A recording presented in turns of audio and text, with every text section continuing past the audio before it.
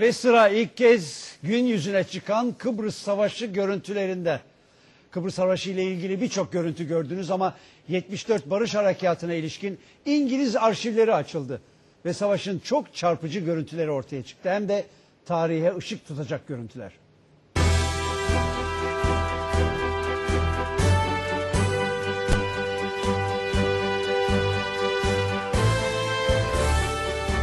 İşte o görüntüler.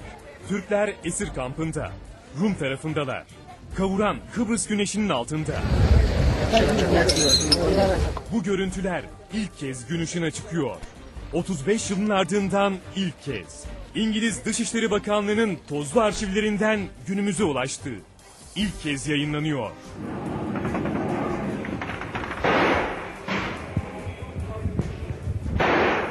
İngilizlerin çektiği görüntüler Kıbrıs Barış Harekatı'na ışık tutuyor. Işık tutmakta kalmıyor, tarihi gerçekleri gözler önüne seriyor.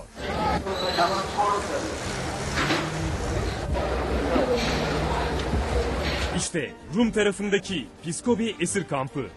Türkler yiyeceklerini tel örgülerin ardından gardiyanlardan teslim alıyorlar. Limasol'daki bu kampta kaç kişinin olduğu ve ne kadarının sağ olarak kurtulduğu bilinmiyor. The other people of the village are arrested. The men, the other ladies and children are in the village. We don't know what happened to them. Yaklaşık 20 bin Türk gece gündüz açıkta tutuldu. Tam 6 ay boyunca.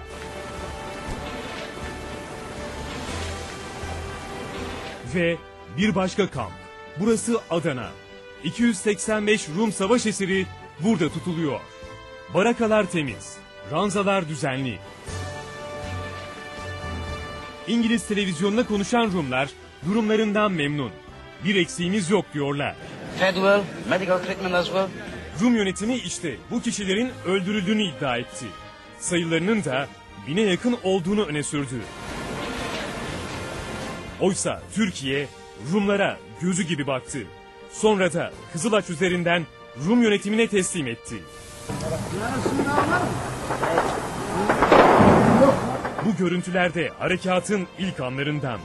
Türkler canlarını kurtarmak için Rumlardan kaçmaya çalışıyor. Radyodan yükselen anons yüreklere su serpiyor. Kıbrıs'ta yeni bir dönemin başladığını haber veriyor.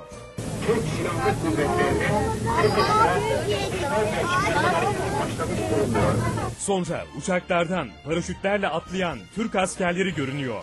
and the first of the Turkish troops have landed in Cyprus. Anonsu yapan Michael Nicholson, ITN televizyonu muhabiri. Kameramanıyla birlikte arabaları bozulduğu için oradalar. Ama tarihe tanıklık ediyorlar. İleri!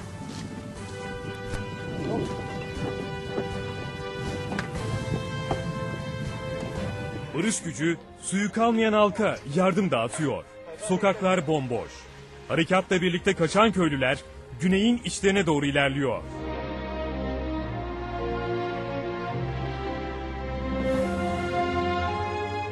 Her yer cesetlerle dolu. Türklerin yaşadığı dram İngilizlerin kamerasına yansıyor. Köylerin erkekleri savaşmak için dağda. Rumlara karşı topraklarını savunmaya çalışıyorlar. Geride kalan kadınlarsa çocuklarıyla birlikte Türk askerinin gelmesini bekliyor.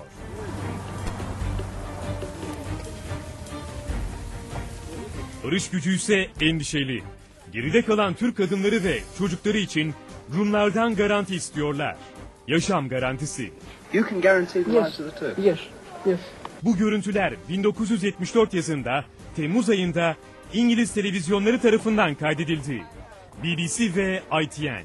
İki kanal da bu görüntülerin çok kısa bir bölümünü kullandı.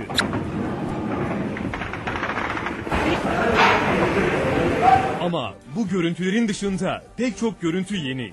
İlk kez yayınlanıyor.